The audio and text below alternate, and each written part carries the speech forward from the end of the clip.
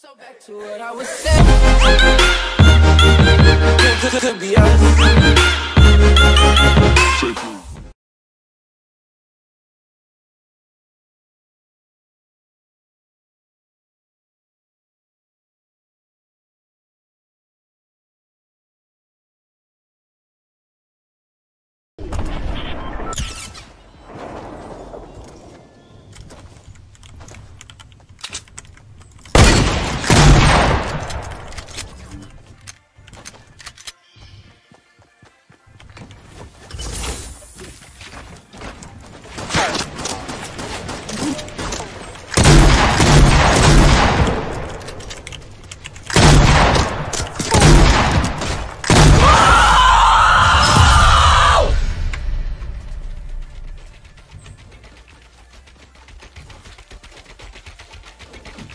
Uh,